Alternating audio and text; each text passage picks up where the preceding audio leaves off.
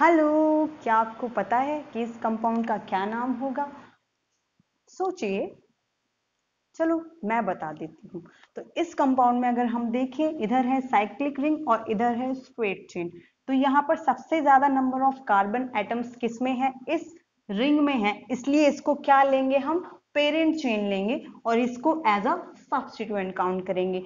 अब यहाँ पर दो कार्बन है सब्सटीट्यूएंट में तो दो कार्बन के लिए लेते हैं हम ईथ। और क्योंकि ये आइन है तो यहाँ पर होता है इथाइन। लेकिन अब यहाँ पर एक ट्विस्ट आ जाता है, जब ये एज अ सब्सटीट्यूएंट यूज़ हो रहा है, यानी ये group as a substituent use हो रहा है तो ये हो जाएगा इथाइल नाइन ठीक है?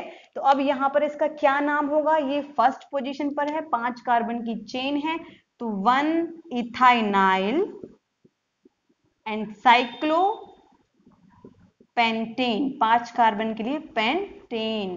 तो इसका नाम क्या हो गया? One ethynyl cyclopentane. I hope इसका आंसर क्लियर है।